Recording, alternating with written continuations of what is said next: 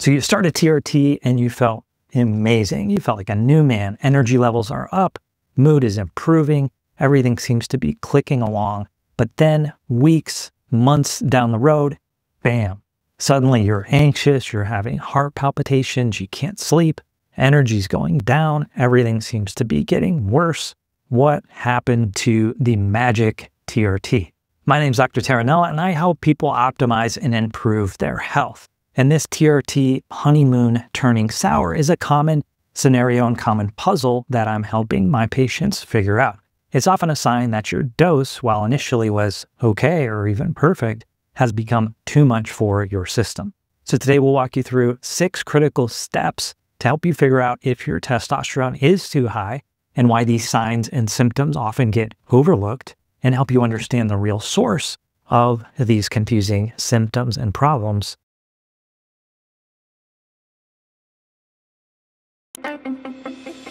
So the absolute key to cracking this code of too much testosterone, step one is identifying and connecting your symptoms to the timeline. That switch from TRT feeling awesome to suddenly feeling wired and anxious and having heart palpitations and you can't sleep well usually isn't just a random occurrence. It typically happens somewhere around one month to possibly as long as six months, but usually around the three month mark is when this is going to start to manifest. And why is that? Well, your body initially is going to benefit as you correct the deficiency, but over time, your tissues become more and more saturated that testosterone. And so that same dose that was precisely perfect initially and you felt so much better becomes suddenly an overload. This delayed onset to your new symptoms and your new state is why it's so confusing to connect the dots. You felt so good over here, and now you're on the same dose here, but you're not feeling good, so it can't be TRT, right? The answer is definitively wrong. That's not the case. And this timeline that I'm explaining is the first big clue that this is actually the problem for you. So understanding your body's signs and signals on TRT is obviously very important, if not vital, when you're on testosterone replacement therapy. And my ebook, TRT Mastery, really helps you customize and optimize this therapy so that you're getting the benefits without any of the unwanted side effects and also helps you identify what those side effects might be if you're having them and helps you navigate this world a little bit better in conjunction with your doctor. You can find that in the link in the description below. All right, so now that you understand a little bit on the timeline, let's walk you through the next steps to understanding if your TRT is too high. So the second thing we want to understand in a little more nuance is the symptoms of too much testosterone. So this is where many guys get misdiagnosed. And the most common overlooked sign of too much testosterone or too high of T, especially with that delayed onset, is from adrenergic overstimulation. So what does that exactly mean? So we have two types of systems in our body that uh, work on our central nervous system. We have fight or flight, which is adrenergic, and rest and digest. Adrenergic is sympathetic, this side is parasympathetic. So when we rev this one up, some people initially, a lot of people are going to feel a little bit better because they're tired and fatigued and run down. As you're revving that system up, depending on how your system is wired and how much receptors and different things, how your body's breaking down the adrenergic signals, can suddenly start to tip and this is your fight or flight system that the testosterone helps support. So what is this going to feel like? Well, you're going to have new or worsening anxiety, constant edginess or feeling of inner restlessness, or possibly even a sense of doom or panic. You might have heart palpitations or racing heart. You might have this even when you should be calm and there's nothing really going on. You may even wake up in the middle of the night with this sense of panic or palpitations. You commonly will have sleep disturbance you can't really sleep that well, so you're wired, but you're also kind of tired because you're not resting well. And that could happen from just frequently waking throughout the night as well. And so your energy levels, while initially may have felt great, now they're kind of going down or just not feeling better than when you started the testosterone. And that's because the excess energy from the adrenergic stimulation is affecting your sleep. So that's where the wired and tired kind of scenario comes in from too much testosterone. So how does this actually work? What is the specific mechanism involved here? So testosterone, again, can influence the adrenergic receptors in your body. So this is a docking site for certain kinds of neurotransmitters. You can think like norepinephrine and dopamine are the classic here. And testosterone doesn't directly spike cortisol levels long term when you're in a normal or optimal level. It'll often lower the cortisol if you're just correcting a deficiency. But when you're on adrenergic overload, that's going to create chronic stress, kind of like a physiological response, similar to if you're in an actual fight or flight scenario where you're arguing with someone, where you're worried about something for the next day. It's just going to increase those levels. The threshold from going from baseline even keel to anxious and worried about something is much thinner. So it's easier for you to get tipped into that anxiety state from even minor things. And so that activates your body's alarm systems. And studies do show that super physiological androgen levels can impact these anxiety pathways. And I think that's what's important to recognize is what's super physiologic for one person is not going to be super physiologic for the next person. And this has to do with how you're wired. Were you already prone to having anxiety, sleep disturbance, and things like this? Maybe you didn't think of yourself that way, but if this is going on and your levels of testosterone are not that high, but this is how you're responding, it's probably time to take a second look at that. And that's kind of why it often gets missed too. These symptoms, part of it is the timeline, part of it is, you know, the dose you're on isn't really not that high.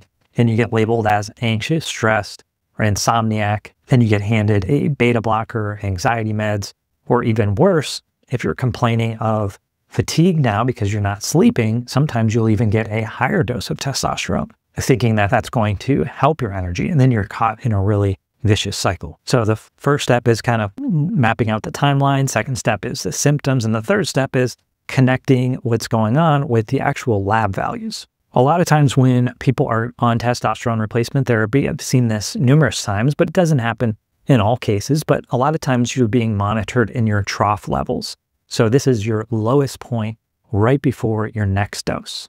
And this is useful to ensure you're not super low or too deficient. But if you're having these overstimulation effects, your trough level might look fine. It might look perfect, or maybe even it looks low on paper, but it doesn't reflect what is going on at the peak. And that oftentimes is where those symptoms are going to be coming from, is that peak level. And so that's why your symptoms, especially those symptoms of the adrenergic overdrive, often become a more sensitive indicator of too much testosterone. And so connecting your injection to when those symptoms come on can also be really helpful in pinpointing where we're at with your testosterone and when those symptoms come on. But that's also when we want to be checking is more at the peak and not the trough levels. The other thing is it's not always just from the testosterone itself. There are other downstream metabolites or downstream effects of higher testosterone levels, and some of us are more susceptible to these downstream effects than just the testosterone itself. So when your testosterone is running high for long periods of time, or again, some people are just more susceptible to this, excess testosterone is going to convert into estradiol via an aromatization process.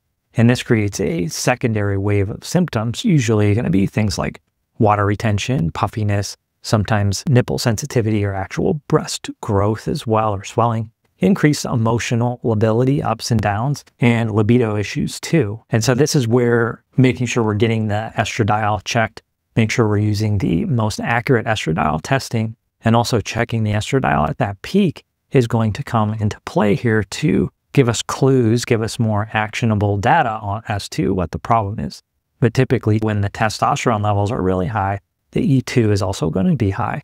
But some people, even when they have normal testosterone, they have a really high E2 as well. So it's important to distinguish those things and make sure you're doing an accurate E2 test to get the best out of that test. The other thing that I kind of alluded to already in a couple different scenarios, but we'll just dive into it a little bit more here is your unique genetics and your unique sensitivity.